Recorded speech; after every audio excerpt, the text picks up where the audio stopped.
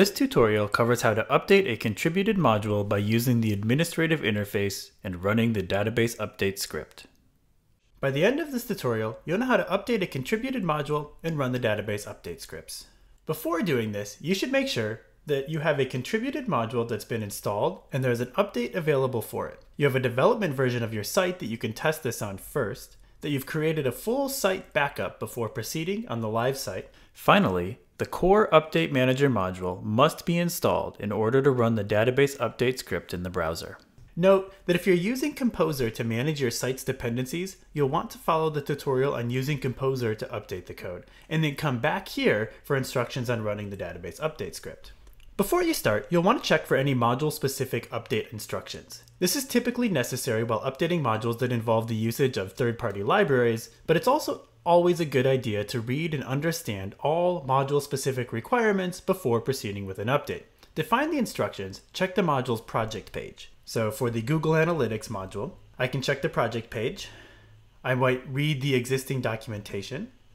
One good place to look is by clicking on the release, which you're going to update to, which will take you to the project's release notes. Here you can browse through the release notes and see if there are any special instructions about updating. Finally, you can also download the files that you're going to be using during the update and look for an update.txt, a readme.txt, or an install.txt file in that code that might contain additional instructions. If you're not using Composer to manage your site's dependencies, then the modules can be updated using the administrative interface.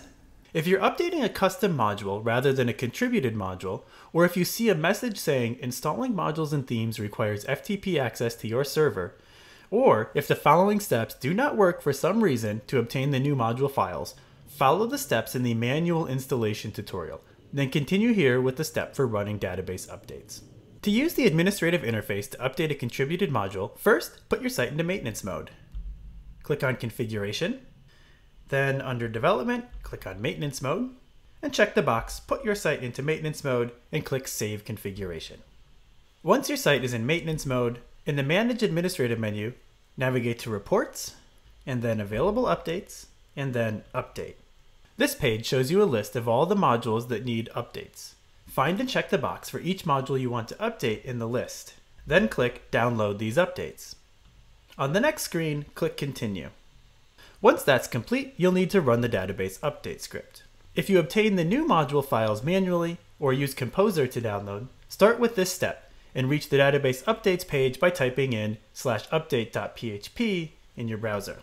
Click on Run Database Updates. From the Updates page, click Continue.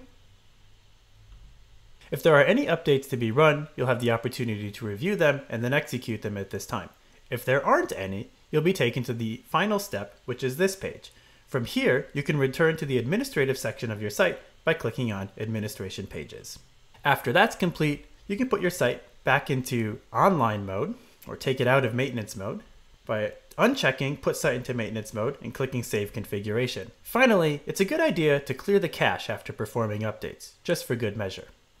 In this tutorial, we learned how to update a contributed module using the user interface provided by the core Update Manager module and how to run the database update script.